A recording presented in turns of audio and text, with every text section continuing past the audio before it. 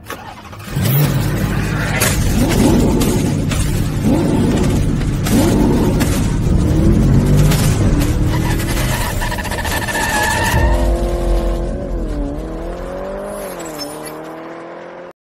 Friend मैं हूँ केश कुमार। आप देख रहे हैं channel technical automobile zero zero nine. मेरी वीडियो को लाइक करने के लिए और चैनल को सब्सक्राइब करने के लिए मैं आपका तहे दिल से शुक्रिया अदा करता हूँ। तो बढ़ते हैं वीडियो की तरफ़। ये जो हमारे पास गाड़ी है, ये स्विफ्ट गाड़ी है, जो कि 2021 मॉडल गाड़ी है। तो इस गाड़ी में हमें इशू ये आ रहा है कि इसका जो स्टेयरिंग है, वो एकदम से हार्ड है और साथ में इसका स्पीडोमीटर वर्क नहीं कर रहा। तो देखते हैं, आपको ले चलते हैं इसके क्लस्टर मीटर के ऊपर और दिखाते हैं इसमें कौन कौन सी हमें लाइट आ रही है। तो ये देखिए, ये इसका क्लस्टर मीटर है तो आपको दिखाने की कोशिश कर रहे हैं। हमने गाड़ी का भी, हमने अग्निशन ऑन किया है। तो ऑन करने के बाद हम गाड़ी को स्टार्ट करके देखते हैं। तो ये देखिए, अभी अग्निशन को दोबारा से हमने ऑफ़ किया। ऑफ़ करने के बाद अग्निशन को ऑन किया। ऑन करने के बाद हम गाड़ी को स्टार्ट करके देखते हैं। आखिर इस गाड़ी में हमें प्रॉब्लम क्या फेस हो रही है। तो ये देखिए, गाड़ी का अभी इग्निशन ऑन है। तो जैसे ही हमने गाड़ी को स्टार्ट किया तो आप देख पा रहे होंगे, इसमें एक ए की लाइट और साथ में हैंड ब्रेक की लाइट और साथ में हमें एमएल लाइट ग्लोइंग हो रही है। ये तीनों लाइटें इस गाड़ी में हमें फेस हो रही हैं। इसकी वजह से हमारी गाड़ी में जो इसका स्टेयरिंग है, वो एकदम से हार्ड है और साथ में इसका स्पीडोमीटर भी वर्क नहीं कर रहा। तो ये देखिए ए बी की लाइट और हैंड ब्रेक लाइट्स रह रही है और साथ में हमें एम एल लाइट भी ग्लोइंग हो रही है। तो हमने ये देखिए हैंड ब्रेक भी डाउन की है तब भी हमारी गाड़ी में M L sorry hand brake की लाइट शो हो रही है। तो ये देखिए, आप ध्यान से देखेंगे। तो ये देखिए, ये इसकी एम एल लाइट ग्लोइंग हो रही है। ये तीनों लाइटें हमें इस गाड़ी में इशू आ रहा है। तो देखते हैं आखिर इस गाड़ी में प्रॉब्लम क्या है। तो सबसे पहले हम गाड़ी को स्कैन टूल लगाएँगे। स्कैन टूल लगाने के बाद देखेंगे इसमें आखिर कौन कौन सा कोड आ रहा है। तो ये देखिए, अभी हम गाड़ी को फ़र्स्ट गियर में डालेंगे और देखेंगे, इस गाड़ी का स्पीडोमीटर वर्क कर रहा, नहीं कर रहा, आपको हम दिखाने की कोशिश करेंगे। तो ये देखिए, हमने गाड़ी को फ़र्स्ट गियर में डाला हुआ है। फ़र्स्ट गियर डालने पर आप देख पा रहे होंगे, जो आर पी एम पॉलिश हुई है हमारी, वो तीन हज़ार, साढ़े तीन हज़ार के आसपास जा रही है। पर जो हमारी जो स्पीडोमीटर की जो नीडल है, वो ज़ीरो पे ही स्टिल है। आप ध्यान से देखेंगे। मैं आपको दिखाने की कोशिश करूँगा दोबारा से। ये देखिए, एकदम से ज़ीरो पे है। तो हमारी गाड़ी का जो स्पीडोमीटर है, वो भी वर्क नहीं कर रहा। आपको दिखा, दिखाते हैं। ये देखिए, दोबारा से मैंने गाड़ी को आरपीएम किया। आर करने के पर जो हमारी नीडल है स्पीडोमीटर की, वो एकदम से स्टिल है। वो बिल्कुल भी वर्क नहीं कर रही। तो ये देखिए तो ये देखिए, अभी हमने गाड़ी को स्कैन टूल लगाया। स्कैन टूल लगाने पर हमें इसमें चार कोड आ रहे हैं, जो चारों के चारों कोड हमें करंट में शो हो रहे हैं। तो सबसे जो पहला कोड हमें आ रहा है, वो आ रहा है U zero one two one code आ रहा है lost communication with A B S equal to E P S का।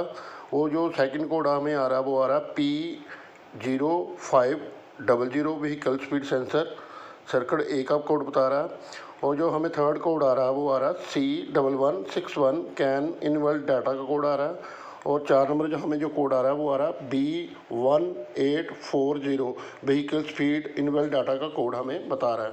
तो आप भी देखेंगे, आप ध्यान से देखेंगे, ये चारों के चारों हमें कोड करंट में हमें शो हो रहे हैं। तो आपको मैं दिखाने की कोशिश करूँगा, आप ध्यान से देखेंगे तो ये चारों के चारों हमें कोड करंट में शो हो रहे हैं। तो इन कोड के ऊपर अभी हम काम करेंगे। आखिर ये किस चीज़ के कोड हैं? तो उसके लिए हमें क्या क्या चेक करना है। तो बने रहिए वीडियो के साथ। तो ये देखिए, ये चारों के चारों हमें कोड करंट में तो भाई हम सबसे पहले इसका फ्यूज चेक करेंगे। तो हमें जो ईपीएस का फ्यूज है, वो साठ एम्पेयर का फ्यूज है। ये अंदर से बिल्कुल ब्रेक नहीं है। बिल्कुल ओके फ्यूज है हमारा। तो हम देखेंगे इसमें जो सप्लाई आ रही है, वो प्रॉपर हमें आ रही है या नहीं आ रही। हम चेक करेंगे मल्टी फंक्शनल ऑटो टेस्टर के साथ। तो ये देखिए हमारे पास है, ये मल्टी फंक्शनल ऑटो टेस्टर है तो इससे हम इसकी सप्लाई को चेक करेंगे। तो यहाँ से हमने साठ एम्पेयर का फ्यूज निकाला था तो ये देखिए अभी जैसे ही हमने उसमें सप्लाई पे लगाया था, हमें बारह पॉइंट टू वोल्टेज मिल रही है। दैट मीन की जो हमारी वोल्टेज है, वो प्रॉपर आ रही है। तो अभी हम इसकी ग्राउंड को भी चेक करेंगे। तो आप देख पा रहे हैं इसकी ग्राउंड ज़ीरो आ रही है। तो हमारी जो सप्लाई है फ्यूज तक बिल्कुल ओके है, इसमें भी कोई प्रॉब्लम नहीं है। अभी हम सेकंड जो इसका जो स्पीडोमीटर सेंसर का जो फ्यूज होता है तीस एम्पेयर का, उसको भी अभी हम चेक करेंगे। तो ये देखिए, जैसे हमने लगाया तो बारह पॉइंट टू वोल्टेज हमें आ रही है तो इसकी हम ग्राउंड को भी चेक करेंगे। तो ग्राउंड भी, ये देखिए, हमारी जो वोल्टेज है बारह पॉइंट टू आ रही है तो इसकी जो ग्राउंड आ रही है वो ज़ीरो आ रही है, बिल्कुल सही आ रही है। इसमें भी कोई प्रॉब्लम नहीं है। तो हमारे फिर दोनों ओके हम स्कैन टूल की मदद से चेक करेंगे। इसके जो व्हील स्पीड सेंसर है, वो सही से काम कर रहे हैं या नहीं कर रहे। तो आप देख पा रहे होंगे, जैसे हम स्टेयरिंग व्हील को मूव कर रहे हैं तो ये देखिए, हमारी जो रीडिंग है, वो चेंज हो रही है। आप ध्यान से देख पा रहे होंगे। तो ये देखिए, हमारी जो रीडिंग है, बिल्कुल सही चेंज हो रही है। इसमें कोई भी प्रॉब्लम नहीं है। तो दैट मीन की जो हमारी वायरिंग हार्नेस है, वो सप्लाई हमारी सही आ रही है। तो वायरिंग हार्नेस चेक कर ली और फ्यूज भी चेक कर लिए अभी हम इसका ए बी एस यूनिट को चेंज करके देखते हैं। तो उसके लिए हम इसकी जो फिटिंग खोलेंगे। तो ये देखिए अभी हम बैटरी को बाहर निकालेंगे। बैटरी को बाहर निकालने के बाद हम ए बी एस यूनिट को खोलेंगे। उसके साथ जो फिटिंग लगी होती है उसके साथ आठ पाइपें लगी होती है ब्रेक ऑयल की। तो सबसे पहले हमने आप सबसे पहले ब्रेक ऑयल को आपने अच्छी तरह से खाली कर लेना ब्लीडिंग कर लेना तो ताकि ब्रेक ऑयल हमारा जो बाहर ना गिरे। बाहर गिरने से होता क्या है, इसका जो पेंट है वो ख़राब हो सकता है। इसके लिए आपने ब्रेक ऑयल को ब्लीड कर लेना और बिल्कुल खाली कर लेना। है तो उसके बाद आपने ए वी एस को खोलना। है तो इस तरह से हम ए वी एस को खोल रहे हैं। इसकी जो फिटिंग लगी होती है, उस फिटिंग को सारी को हम खोलेंगे। तो आप देखते रहिए। इस तरह से हमने फिटिंग को खोल लेना है। तो ये देखिए, हमारा जो पुराना ए है, इसकी यूनिट को हम बाहर निकालेंगे। बाहर निकालने पर ये देखिए, ये हमारा पुराना यूनिट है। तो अभी हम न्यू यूनिट को फिट करेंगे। तो ये देखिए हमने अंदर से न्यू यूनिट ले लिया ए यूनिट तो इसको हम फिट करेंगे। ये देखिए इसकी पैकिंग है, इसको हम खोल रहे हैं। तो इसके अंदर हमारा एबीएस यूनिट है, उसको हम फिट करेंगे। इस गाड़ी के ऊपर न्यू ए यूनिट को हम फिट करेंगे। तो ये देखिए हमारा एबीएस यूनिट तो ये एकदम से नया है। तो इसको हम गाड़ी पे फिट करके देखते हैं प्रॉब्लम हमारी सॉल्व होती है या नहीं। तो अभी हम इसकी फ़िटिंग कर रहे हैं। अभी हम इसकी सारी पैकिंग को खोलेंगे तो इस तरह से आपने पैकिंग के से बाहर निकाल लेना है। तो मैं आपको दिखाना चाहूँगा जो हमारा न्यू एवीएस यूनिट है तो आप इसको ध्यान से देखेंगे। इसके ऊपर आठ बोल्ट लगे होते हैं। ये आठों के आठों बोल्ट आपने खोल लेने हैं, जहाँ पर हमारी पाइप फिट होती है। तो ये देखिए, आपको दिखाने की मैं कोशिश कर रहा हूँ। तो ये आठों के आठों आपने बोल्ट खोल लेने हैं। तो इस तरह से ये बोल्ट खोल लेने हैं। तो यहाँ पे हमारी पाइप फिट होगी। तो इसलिए दिए दिए जाते हैं ताकि आपकी जो थ्रेड है वो अंदर से चूड़ी ख़राब ना हो और अंदर डस्ट वगैरह ना जाए। इसलिए सेफ्टी के लिए ये बोल्ट लगाए होते हैं। आठों के आठों आपने बोल्ट खोल लेने हैं। उसके बाद हम इस यूनिट को, ये भी इस यूनिट को गाड़ी के ऊपर फिट करेंगे। अभी हम जो new A B S assembly है, उसको गाड़ी के ऊपर फिट करेंगे। तो ये देखिए, हमने जो पुराना खोला था, उस पर जगह हम new A B S unit को फिट कर रहे हैं। तो इस तरह से जो ब्रैकेट वगैरह हमने लगा लिया तो इसकी जो फिटिंग हमने खोली थी, दोबारा से हम इसकी फ़िटिंग को करेंगे। तो इस तरह से प्रॉपर से आपने इसको फिट कर लेना है। तो जो पाइप वगैरह आपने दोबारा से फिट करनी है, उसकी ब्रेकल की लीकेज को आपने अच्छी तरह से चेक कर लेना है। तो ये देखिए, अभी हम इसकी फ़िटिंग को कर रहे हैं।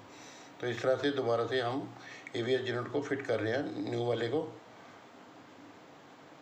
तो ये देखिए इसको हम बिठाने की कोशिश कर रहे हैं। तो प्रॉपर हम तो ये देखिए अभी हमने ए वी एस यूनिट को फिट कर लिया। तो ये प्रॉपर बिठा के हमने इस यूनिट को फिट कर लिया। तो अभी हम इसकी जो बैटरी वगैरह निकाली थी उसको हम दोबारा से रिफिट करेंगे और गाड़ी को हम स्टार्ट करके देखते हैं। तो ये देखिए अभी हम बैटरी को लगाएँगे। जो जो हमने फिटिंग खोली थी, दोबारा से उसको हम दोबारा फिट करेंगे।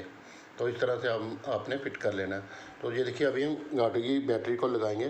बैटरी लगाने के बाद हम गाड़ी को स्टार्ट करेंगे। स्टार्ट करने के बाद हम इसकी ब्रेक ब्लीडिंग करेंगे। तो सबसे पहले हमने ब्रेक ब्लीड करनी है। ब्रेक ब्लीड करने के बाद आपको दिखाते हैं। अभी हमने गाड़ी के ऊपर ए यूनिट को फिट किया हुआ। तो आपने ये एक चीज़ नोटिस की होगी, जैसे हमने हाइड्रोल यूनिट को फिट किया तो आप देख पा रहे होंगे हमारी जो ए की लाइट है, वो ब्लिंक कर रही है। आप ध्यान से देखेंगे तो हमारी जो ए की लाइट है, वो ब्लिंक कर रही है, जबकि पहले स्टिल रह रही थी।